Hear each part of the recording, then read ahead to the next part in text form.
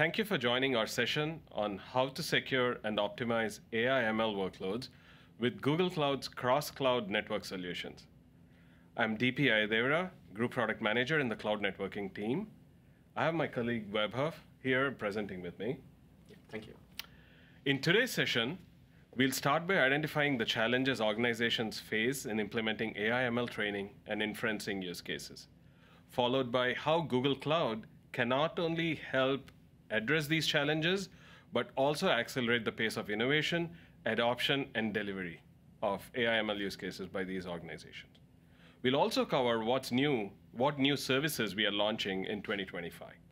As we look at the AI ML pipeline, there are three key stages, starting with data ingestion, followed by model training, and then by inferencing. Each of the stages have their unique requirements.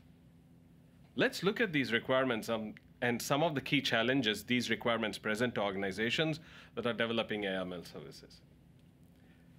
First, ML training requires large amount of data to be transferred from on-prem or other clouds in a reliable, consistent, and cost-effective manner. Traditional network infrastructure may struggle to meet these requirements, resulting in unreliable and costly data movement. Second, ML training requires a high bandwidth, low latency, and reliable networking fabric for faster training convergence with optimal price to performance ratio, while keeping the utilization of expensive ML accelerators pretty high. Third, large language model training can be constrained by limited scale of cluster size or the number of ML accelerators like GPUs that can be connected in a non-blocking network fabric for training. Fourth, the surge in GenAI training demand has led to limited availability of ML accelerators, especially GPUs. Customers are looking for alternatives or ways to maximize their available capacity. Lastly, Kubernetes is becoming the most commonly adopted platform for AI ML workload orchestration. Enhancements are indeed needed to support large-scale AI training with seamless integration uh, with other parts of the infrastructure, including hybrid and multi-cloud. Given these challenges, what role does network play? How can networking address these? AI workloads demand a high-performance network, from secure data ingestion for training to ultra-low latency for model training and inference with GPUs and TPUs, networking needs to ensure performance, reliability, and security across the entire AI/ML pipeline. Let's talk about how cross-cloud network addresses these challenge, the, addresses the challenges organizations face in delivering these AI/ML services. We talked about data ingestion requiring cost-effective, fast, and reliable on-prem to cloud and cross-cloud data movement.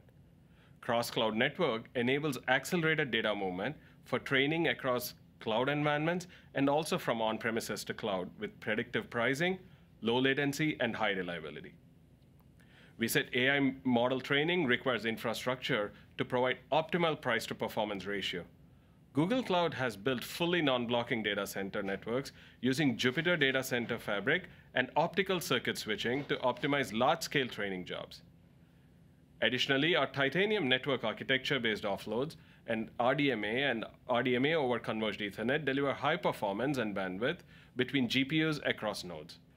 One of the key challenges we mentioned earlier is how scalable data center networks are required for LLM training. Google Cloud empowers large-scale AI model training with petabyte-scale interzone and interregional bandwidth, enabling non-blocking GPU and TPU clusters. Moving on to availability of accelerators, Google has a clear differentiation in this regard with TPUs to address the supply gap for accelerators for AI training.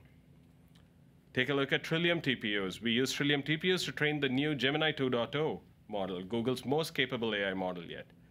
Enterprises can take advantage of the same powerful, efficient, and sustainable infrastructure. Hybrid and multi-cloud AI training with GKE multi-networking. We mentioned Kubernetes becoming the de facto platform for AI/ML workloads. Google Kubernetes Engine is Google Cloud's managed Kubernetes service. GKE, with its latest data plane optimizations, can now support multiple network interfaces running on high-performance VPCs. This drives support for large-scale AI training while seamlessly integrating GKE with other parts of the infrastructure, including hybrid and multi-cloud. With GKE Gateway and cloud load balancing integration, we are able to optimize GPU and TPU utilization with model-aware traffic management. For cost-effective, fast, and reliable on-prem to cloud and cross-cloud data movement, we'll be introducing 400 gig interconnect this year, which will have four times the throughput than our 100 gig solution. Secondly, GKE now supports 65,000 nodes of GPUs and TPUs, enabling trillion parameter AI models. Our enhanced GKE scale and multi-networking provide improved performance, security, and flexibility for training, featuring iso traffic isolation, dual homing, and network segmentation. For ultimate performance, we introduce RDMA-based purpose-built VPCs, experience high throughput and low latency with optimized GPU to GPU networking, boasting 3.2 terabits per second of non-blocking bandwidth, and supporting up to 10,000 GPUs per cluster with RDMA over converged Ethernet. Later this year, with A4 Ultra Instance, we'll be increasing non-blocking cluster scale to 30,000 GPUs, supporting very large training models. So to summarize, in 2025, with these advanced and differentiated capabilities, we at Google Cloud are continuing on our journey to develop the planet's best platform for AI/ML training workloads. Now, let me invite Vaibhav to talk about how we are innovating in the inferencing space. thank you. So let me first talk about some of the broad themes we are hearing about customers who are running inference on large scale on their Kubernetes clusters. The first thing we hear is that GPU capacity across regions is still constrained. And if you uh, typically have a surge of demand or request in a single region, uh, you often end up with sometimes having application errors uh, because of having lack of capacity in that region to serve the workloads from. Secondly, traffic distribution for your LM workloads today is ineffective. Um, why that matters is that to serve the workloads with optimal performance, low latency, and high throughput requires a very different traffic distribution approach compared to traditional web serving. And finally, the amount of GPU to allocate for your workloads is a function of the size of the model, the type of request and this volume of requests that are coming in, the performance requirements of workload, and of course, the underlying hardware that you're running from. And optimizing and uh, allocating the, just the right amount of GPU, TPU capacity is still a challenge for customers. To address these challenges, we are bringing in significant new innovations to Google Kubernetes Engine, starting with GKE Inference Gateway. We are enhancing the underlying load balancing capability in GKE Inference Gateway to more optimally distribute load, taking into account the particular LM workload patterns. And we'll learn about this in just a bit. As a result of this, we are able to eh, lower the latency and provide higher throughput of token generation, as a result, delivering better user experience for your LLM applications.